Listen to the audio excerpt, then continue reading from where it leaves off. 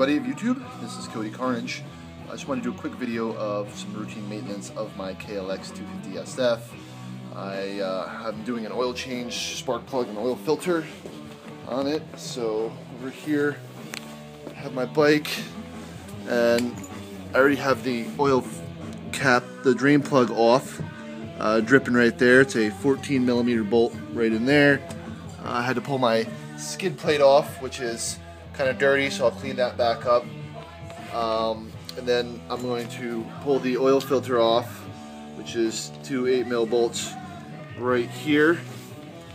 Get this on there.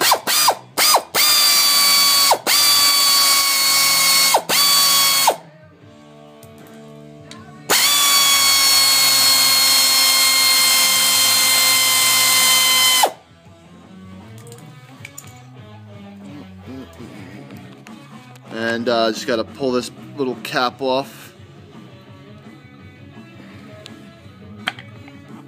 And that's your oil filter right in there. Uh, let's see. I already have the filter and plug. Kawasaki genuine part right there. Support number if you can see. But you just pull that bad boy out and pop back in. Put the drain plug back on. And fill it back with oil.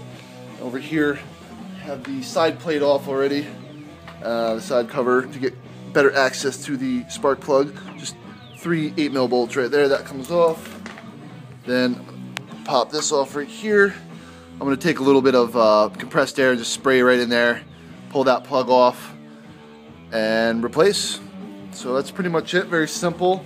Uh, something you could do, you know, in a couple minutes. I'm in the garage on a you know, cloudy day, just, you know, doing some routine maintenance after the wintertime. Hope it helps, and any questions, just let me know.